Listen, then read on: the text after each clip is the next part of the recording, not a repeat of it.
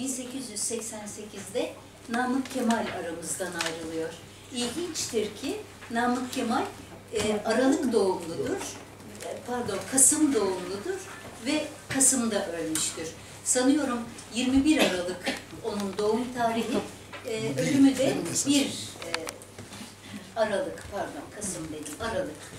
27 Aralık'ta doğmuş, e, 1 Aralık'ta da ölmüş. Zaten e, 40 1840 doğumlu, 1888'de de 48 hayatını kaybetmiştir, 48 yaşında. Namık Kemal e, çocukluğundan itibaren bir paşa torunudur o. E, dolayısıyla dedesinin görevi vasıtasıyla Edirne'den Ardahan'a hemen hemen birçok yeri dolaşmış ve Anadolu'yu tanımış, insanları tanımış, hem bürokrat kesimi tanımış, hem halk kesimini tanımış, yönetimi tanımıştır. Ee, o dö- dö- devrin yönetimini tanımıştır. Bundan dolayıdır ki sürekli içinde e, tıpkı bizim büyük önderimiz Mustafa Kemal Atatürk gibi sürekli toplumuna bir şeyler yapmak, bir yenilik getirmek sevdası içinde bulunmuştur. Nitekim o dönemde değer çok o dönemin değerli Türk edebiyatının ve Türk tarihinin çok değerli isimlerinden Şinasi ile Ziya Paşa ile birlikte üçü Tanzimat Edebiyatı'nı kurmuşlardır. Tanzimat Edebiyatı bizim toplumumuzda e, son derece önemlidir. E, yani böyle çok araya gelmiş gibi görülür ama e, toplumsal hareketlerin öncüsüdür ve edebiyatımızda yeniliğin çok büyük öncülüğünü yapmıştır. Bunlardan bu üç kişiden Şinasi biraz e, şey stratejist, daha çok böyle ortam hazırlayan bir insan. Nitekim onun da çok değerli eserleri var. E, Ziya Paşa yeni ile eski arasında gidip gelen, çok yeniye alışamayan, eskiden kopamayan özellikleri olan bir insan. Ama Namık Kemal hem eylem adamı hem edebiyat insanı olmuştur. Eylem adamı olmuştur çünkü düşüncelerini savunmuştur. Ne kadar yenilikçi düşüncesi varsa hepsini aynı zamanda savunmuş, yaşamıştır.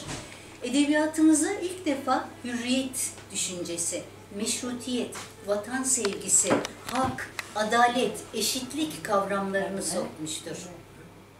Buyurun benim uzun sürecek yer çok uzun değil ama e, bu kavramları sokmuştur. Bildiğiniz gibi bizim edebiyatımız halk edebiyatında da olsa, divan edebiyatında da olsa kişisellikten öteye gidemiyordu. Halk edebiyatında bir ne vardı? Yiğitlik, kahramanlık, savaş konuları vardı biraz toplumsal olan.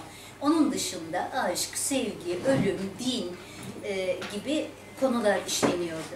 E, divan edebiyatı desek, divan edebiyatı baştan sona kadar kişiseldi. Toplumsal şiir, e, eleseniz 3-4 tane kalır eleğin üzerinde. Bu nedenle Tanzimat Edebiyatı'nda bu kavramlar yepyeniydi.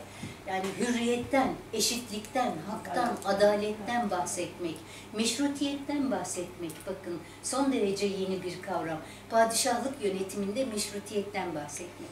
İşte Namık Kemal böyle bir eylem adamı. Hem fikir insanı hem eylem, eylem adamı. Ve devlet e, kademelerinde de bulunmuş. Mutasarrıflık görevinde bulunmuş.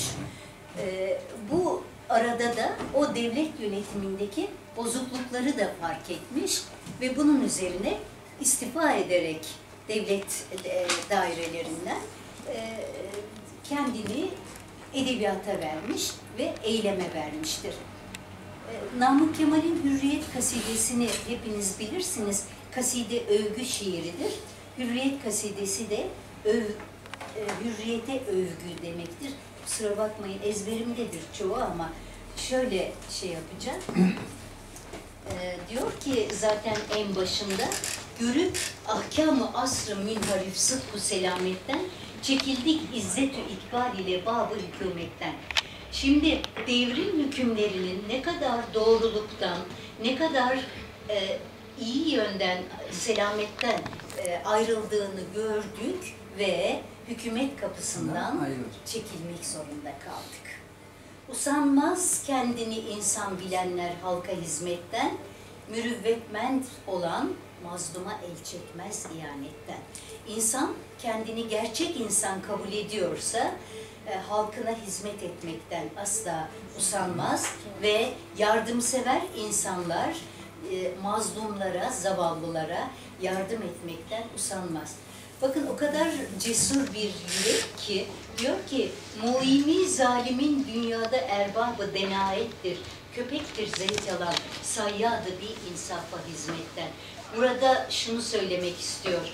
Ee, kötü insanlara bu dünyada hizmet etmekten hoşlananlar e, hoşlananlar insafsıza, insafsız avcıya hizmet eden köpeğe benzerler. Yani bir padişahlık döneminde bunu söyleyebilmek gerçekten çok büyük bir e, şey, cesaret. Tabii bu çok uzun gidiyorum ben buradan. E, ve diyor ki Felek her türlü esbabı cefasın toplasın gelsin. Dönersem kahpeyim millet yolunda bir azimetten. Ve gene e, ne mümkün e, zulm ile bidad ile imhayı hürriyet çalış idraki kaldır muktedirsen ademiyetten diyor. Yani zulümle e, adaletsizlikle hürriyet kavramını ortadan kaldırmayı düşünüyorsan yanılıyorsun. Ancak şöyle bir şey yapabilirsin. İnsanların kafasından özgürlük, hürriyet düşüncesini alabilirsin. Onu da idraki de e, ortadan kaldırman mümkün olmadığına göre hiç uğraşma diyor. Hürriyeti insanlardan alamazsın. Peki ne oluyor böyle bir cesur yürek? Ee, tabii sürgünlere gönderiliyor. Vatan yahut Silestre e, piyesini oynatıyor. Vatan yahut Silestre bir piyes oynatıyor Gedikpaşa tiyatrosunda ve halk o kadar galeyana geliyor, o kadar coşuyor ki yaşasın Kemal, yaşasın vatan diye sokaklara dökülüyor.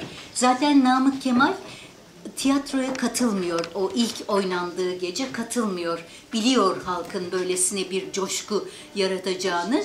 Fakat halk o kadar coşuyor ki hemen ertesi gün Namık Kemal Magosa'ya gönderiliyor. Magosa zindanında 33 ay kalıyor. Oradan kanuni esası hazırlanacak. Ee, çağrılıyor, padişah tarafından çağrılıyor. Kanuni esası anayasa ilk anayasa hazırlanıyor. E, fakat gene e, gazetelerde yazdığı yazılarıyla yeniden Midilli, Sakız, Rodos adalarına sürgünde bulunuluyor ve en son Sakız Adası'nda ölüyor Namık Kemal. 48 yaşında zaten. Bütün sürgünleri de adalarda olduğu için e, romatizma hastalığına tutuluyor ve derin acılarla Sakız Adası'nda ölüyor. Ee, değerli arkadaşlarım, bizim toplumumuzda aydınlar ne yazık ki böyle bir kadere sahipler. Ee, evet, hala aynı şeyi yaşıyoruz. Namık Kemal çok türde eser vermiş. Bir defa gazeteci, tasviri efkar da yazmış. Ee, Şinasi ile beraber ilk gazeteyi çıkarmışlar. Ee,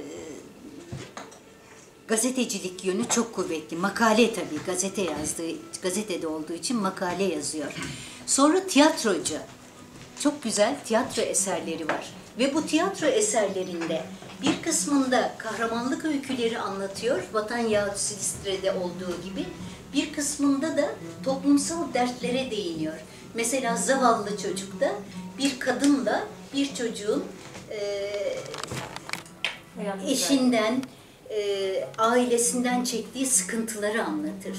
İntibah, e, Gülnihal'de gene öyle. Gülnihal adındaki bir kadının e, sıkıntılarını anlatır.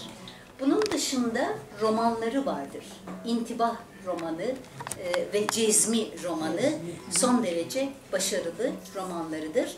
Ayrıca eleştirel eserleri de bulunmaktadır. Yani şöyle diyelim, o öyle bir sanatı toplum için yapan insan ki o dönemde ikiye ayrılıyor sanat anlayışı.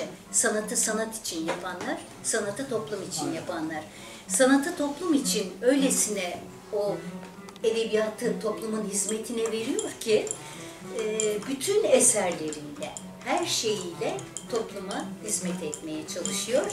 Bu arada da cesur sesiyle de, şiirleriyle de e, gene topluma sesleniyor.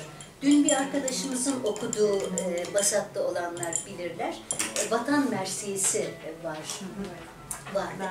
Mersiye ağıt demektir. Halk edebiyatındaki karşılığı ağıttır. E, divan